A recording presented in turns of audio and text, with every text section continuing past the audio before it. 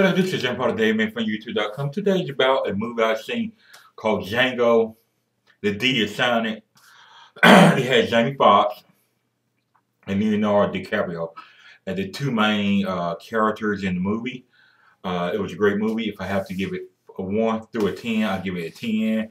If I have to give it a grade, I'll give it an A. I mean, it's a great movie. At first, I mean, I thought it was going to be like a sad, sappy, slave movie, which he was sad regardless, all right, but it had lots of comedy parts in it. Uh, uh, it had lots of um, action in it. Um, you know, uh, had lots of beautiful women in it. You compare it to other movies uh, that kind of depicting black people. Uh, and everything the way it carried out. The music was great.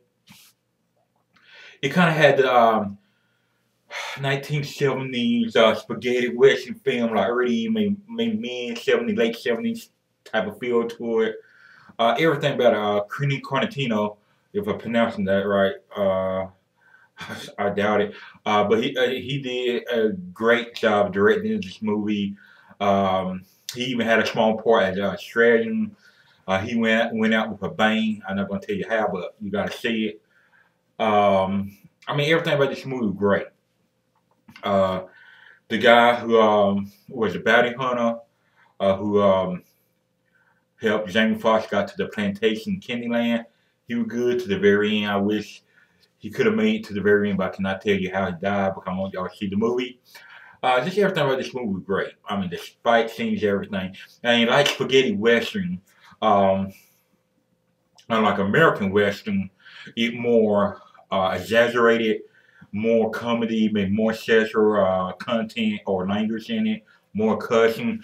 American Western was um, more modest. It wasn't that um, intense as Italian Western. Uh, Italian Western, as you like to in uh, Italy, and Spaghetti Western is the nickname for them. And they were more aggressive. In the Spaghetti Western, a woman fight. In American Western, a, a uh, only the guy fight. A women didn't fight. Uh, you could listen to the gun sounds in a spaghetti western in more louder, more intense. Sometimes uh, some of these gun sounds the spaghetti western might sound like lasers. I mean, I can really explain that. I, um, you know, an American gun, it kind of sounds more modest, more realistic. spaghetti western got more explosion, uh, lots more explosion. Uh, well, American Western maybe got a few explosions here or there, but like I say, um, this real intense Western. Uh, everything about it, from the beginning to the end, the views, the panoramic. It's a great movie. So you got to go see uh, Django. And remember the D is silent, so not D Django, it's Django.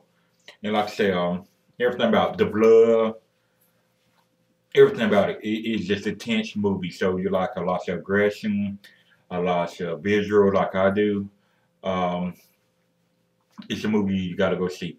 So I'll give uh, Django um, 1 out of 10, 10 uh, in grade 8.